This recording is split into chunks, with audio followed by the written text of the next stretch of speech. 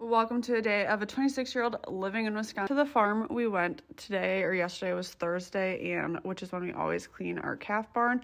And Avery joined us. He usually doesn't help us clean, but he decided to avoid shop work today. I freaking love being in the calf barn, so basically, I was just the happiest girl ever yesterday.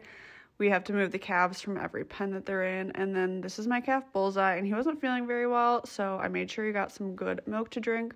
And then basically when we were done, I just hung out with the calves all day because I love them and I could just be in there all day long. And this calf was so happy with his clean bedding. Look at him. Oh, I just love them so much. Then we went to go pick up new calves. We raised Wagyu Holstein from a dairy farm, and here is some of the new babies.